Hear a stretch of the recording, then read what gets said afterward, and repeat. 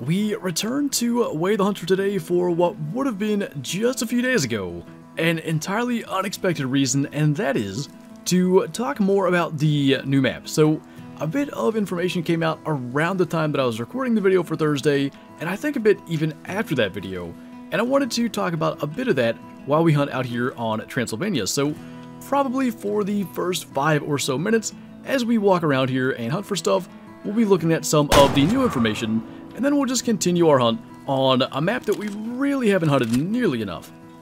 And so as we get going here, our first kill is a one-star mature roe deer, all of 43%, not exactly the most impressive for a mature, but we will be on our way from here. Now the first thing that came out right about the time that I started recording, so I missed it, in the official Whale Hunter Discord, was a list of 7 confirmed species to the Aurora Shores map.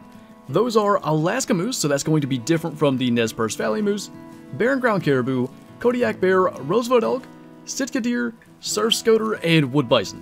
The only really new things here are Kodiak bear. We are unsure what kind of bear that may have been. I was guessing potentially grizzly, so Kodiak's going to be really cool. We knew caribou, we expected moose, but not necessarily the Alaska moose.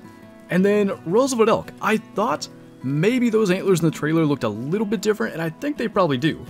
Sitka Blacktail were something we expected, and fortunately they are going to be on the map. We've not seen anything from them, and I'm really looking forward to getting to see those. And then finally, the Surf Scoter. That is a duck species, a waterfowl species, and I know very little about them, but it's good to hear they're continuing with the small game theme, as well as adding a number of big game species. Now, I also wanted to just briefly mention that there appears to be a tentative release date in the actual description of the trailer video, and to quote the description exactly, it says maybe February 23rd. Now, I'm recording this on Thursday, the day that the trailer dropped, but the video's not coming out till Saturday, so there may be changes there, maybe confirmation on the actual release date, or maybe it's still going to be just a tentative date, but regardless, looking like a little less than three weeks away, until we have the Aurora Shores map dropping, and that's not as long as I thought, so fairly soon, we're going to have an entire new map with, I'm going to say, at least 7 new species to go after. I'm still not entirely certain that everything has been revealed, and I guess we'll find out soon enough. And those are the two kind of main pieces of information that were missed out in the original video. So from here, what we're going to be doing is taking a look at some of the screenshots that were provided to the entire community by the Way the Hunter official Discord, and just going over some of the things I noticed, specifically a few things that look a little bit different from the trailer, and I think in all cases, generally that has been a good thing. And in the meantime, what I think we just saw there was the fast travel bug. There's no reason this wild boar should have been up here. We're actually in the mountains going for chamois at the moment, and it was just walking right at us, but we'll take a 2-star mature, and I think actually fitting as we move up into the mountains, we can take a look at the landscape screenshots because I just think this map looks incredible. I think it's going to be so much fun just to explore around and wander. From the mountains that we get to see, we've got the screenshot of the wolf in the mountains as well. That not being a new species, I think just kind of fits in generally with the landscape. That kind of scarlet underbrush that's so stereotypical of Alaskan hunting. I just think they've done a fantastic job, even to the pine forests. I don't know what type of species we may expect to encounter in those things, but I think it's going to be a ton of fun. Just a really well designed map from what we see in the screenshots, and I can't wait to just go exploring. And finally, as we line up for a semi-long shot on one of these Mouflon, probably the one-star adult, we can go over the animal screenshots and take a look at some of the things that are different and just some general observations. So let's go ahead and get that guy. Might have been a spine shot because it looks like red blood. And now we have 260 yards to cover. So let's get the kind of less interesting ones out of the way first. The Kodiak Bear models from a distance there, because that screenshot is pretty far away, do look good. The general head shape and body shape looks correct, and that's about all I can really say looking at that screenshot from far away. We'll definitely have to see them a bit more up close before we can make any official determinations. As for the Alaska Moose, I kind of think something looks a little bit different about that model than the ones that we have on Nez Perce Valley, but maybe it's just the coloration. it's hard for me to tell for sure, but something looks a little different either way. They're not wildly different from the ones that we've already seen.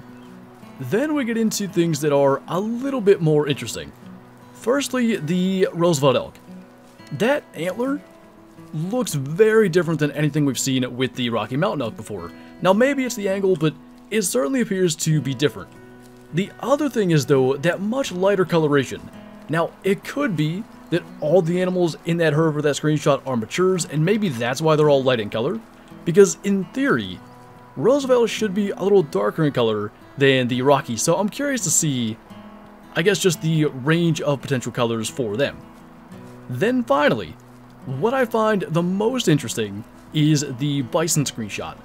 If we look at that, compared to the trailer, the models look a lot better. There was something in the trailer ones. Their necks didn't look right. I don't even know exactly how to describe it. These look much, much better. I also think their horns are maybe a little bit whiter in color.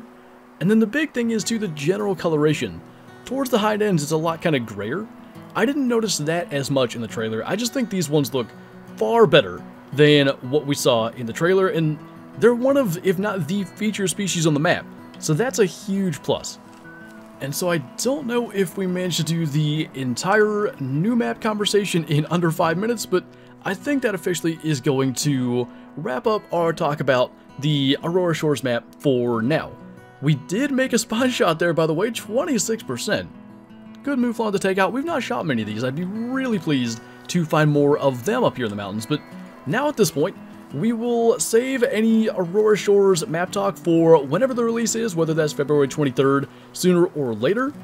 And now we'll just head out here on Transylvania and see what else we can find. But for now, straight back to going after Chamois, and I think this may be the first mature one we've ever seen. We've shot a bunch of adult Chamois, and it feels like every time we shoot a one-star adult, it ends up being 80 plus percent.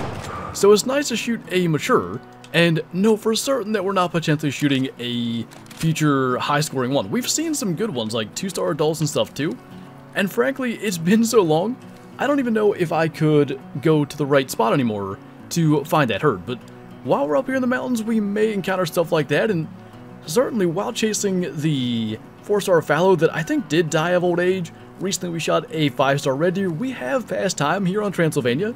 Maybe some of those things are much higher star ratings now. And even as a 1-star mature, this one doesn't look that bad. I don't think I've ever seen like a 5-star chamois in the trophy lodges before. I've seen screenshots like this, but I'd love to know what a 5-star looks like compared to what is a 51% 1-star mature. As for now though, our second kind of decent kill right in this area, and we'll just continue moving along, working on herds and looking for better stuff. So, Perhaps one final opportunity for a kill up here in the mountains. Got a whole pack of Grey Wolves walking through here. The biggest one we've seen is that 2-star adult, so unless there's a... Basically, unless there's a 5-star, we're probably just going to take the 1-star adult, and that is that guy right there. So before he gets into the brush, let's go ahead and try to slot that shot in. That will do just fine. I don't know that we've ever killed a Grey Wolf on Transylvania. There's the mission for them, and we have to do that at some stage. We really need to spend some time out here because we have the recent, really only good addition to our Trophy Lodge in the 5-star Red Deer from the stream. And if we went and did the mission, we could get the wolf as well and maybe get things rolling. I, I guess I won't spoil what the wolf is in case you've not seen it, but it is a mission animal you can get on this map. As for our 1-star adult wolf that we shot pretty much just in the right lung. It's always interesting the way that wolves react to shots, because sometimes single lung they seem to go really far, and sometimes it just drops them in their tracks, but 65%, that 2-star adult might be halfway decent then. But I think what we'll do then is actually go ahead and move down into the lower elevations a little bit towards the end of the hunt here. And I chose to specifically target red deer here for a number of reasons.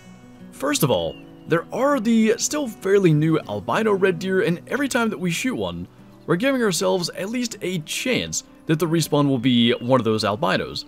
The next thing is, I kind of want to figure something out as far as a theory that I've got. I've always figured, with the collars, and specifically the calls that can attract high fitness males, you can at least attempt to determine whether or not to shoot an animal based on whether or not they respond to a call. So, what I can't figure out is why this 2-star mature is coming in and the 4-star is not, but now he is. So basically, this is what I wanted to know. If he comes in, we leave him, because in theory he's a high fitness male, but I don't get why that one's coming in. I think, just for the sake of trying to learn, we're actually going to shoot the 2-star mature, and if he ends up being high fitness, maybe he's a really young mature that eventually had a chance to get to high 4-star. This looks like the 4-star that we shot, by the way, and that one was in the 90s, so let's definitely focus on this guy. That is pretty cool to see, though. I wish it was a little louder, considering he's fairly close. But if we can just get a slightly better shot angle, maybe when he looks back towards us, a little further to avoid the neck would be ideal. He is just not cooperating, though. That's a little more like it, although I don't know if he's... Now they're all just moving this way now? Well then, we'll just go ahead and hit him. And that's going to, I believe, bring him down. It looked to be a lung shot, even though he just ran right by us. And we can tell based on the blood trail here, it was indeed probably not a great long shot because of the angle, but it will bring him down. Now there was a third and final reason that I chose to target red deer, and that is because multiple times in this video I've talked about needing to get out here and hunt Transylvania, and I've not only been saying that, I have been off camera trying to hunt this map a little bit more, and the results recently were one of the most undeserved 5 stars maybe ever in this game. And I was hunting red deer at the time, I thought I saw a big one, which, spoiler alert, it was a 3 star and it was not that big. But in the process, I just looked up at a warning call and there was a 5 star golden jackal standing 20 yards away. There was no shot I was going back for a 223. I went ahead, took him out with the 270, and upon claiming him, an even bigger shock than actually finding a 5-star on Transylvania, let alone a 5-star Predator, was the fact that he was a 495. A really high scoring 5-star Golden Jackal, and as I said, I did absolutely nothing but walk around chasing red deer and he just appeared right there.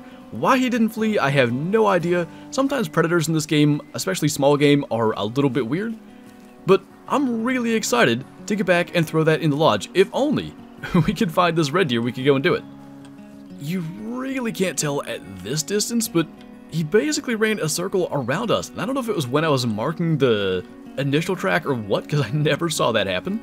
But let's take a peek at what the actual genetic potential is, because if it's not upwards of 80, I don't understand the calls. It was just a single lung shot because of the angle, but he was getting pretty close and I didn't want to let him get behind other brush and stuff as the others were heading our way. 62%. So is it worth using the collars at all to determine anything? Seeing this, maybe not, but the important thing is, we actually have another 5-star to throw in the Trophy Lodge, and of all things, it's one of the newly added species to Transylvania, the Golden Jackal.